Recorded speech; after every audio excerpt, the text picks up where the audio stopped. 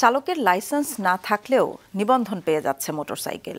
যদিও ন্যূনতম শিক্ষানবিশ লাইসেন্স ছাড়া নিবন্ধন নিষিদ্ধ। লাইসেন্সবিহীন বাইক চালকরা দুর্ঘটনার ঝুঁকি বাড়াচ্ছে, জানান বিশেষজ্ঞরা। সাইফুল ইসলামের ছবিতে কাউসার সোহেলের রিপোর্ট। ঢাকার সড়কের বাম পাশ ধরে ছুটছে অগণন মোটরসাইকেল। গণপরিবহনের তীব্র সংকট ও মহাযানজটের ঢাকায় প্রতিদিন সকাল সন্ধ্যার এ দৃশ্য এখন খুবই পরিচিত। গত পাঁচ বছরে মোটরসাইকেল নিবন্ধিত হয়েছে একুশ লাখেরও বেশি। এর মধ্যে শুধু ঢাকাতেই আট লাখ।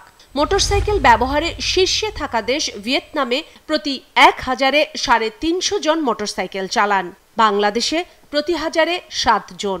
অথচ মোটরসাইকেল দুর্ঘটনায় মৃত্যু ভিয়েতনামের চেয়ে আমাদের সাত গুণ বেশি। একটা ভ্রান্ত ধারণার মধ্যে দিয়ে চলছে। এখানে কোনো গবেষণা নেই কোনো বিজ্ঞান নেই।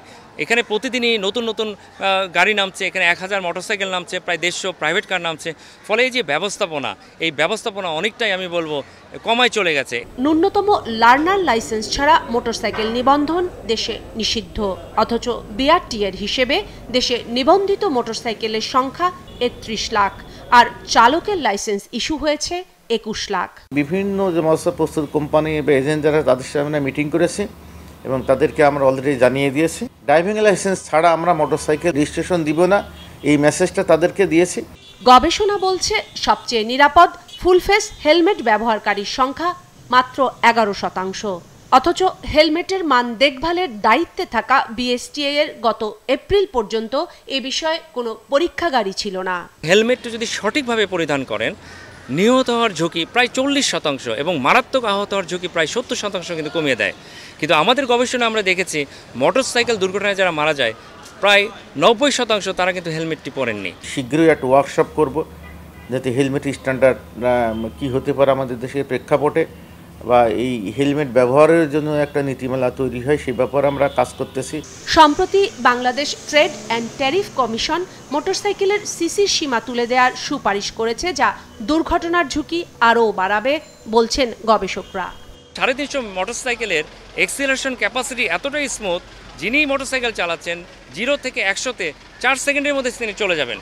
তারা প্রলোভিত হবে টেম্পটেড হবে যে তুমি দ্রুত গতিতে মোটরসাইকেল চালাও। এবং মোটরসাইকেল দুর্ঘটনায় আমরা দেখেছি যে এই যে গতি, মাত্রাকৃত গতি বেপরা গতি, এটি মূলত মরণাস্ত্র। এই বিষয়গুলো তো আসলে আমরা বিআরটি একা সিদ্ধান্ত নিই না, এটা এটা তো প্রধানত সরকারের সিদ্ধান্ত। আমাদের মন্ত্রণালয় আছে, বিশেষ করে যে বাণিজ্য মন্ত্রণালয় আছে, যারা ইম্পোর্টের পারমিশন দেয়, সবাই সম্মিলিত আলোচনার প্রেক্ষিতে হবে। মোটরসাইকেল দুর্ঘটনার ঝুঁকি কমাতে কার্যকর করতে হবে সমন্বিত সড়ক আইন ও গণপরিবহন সেবা।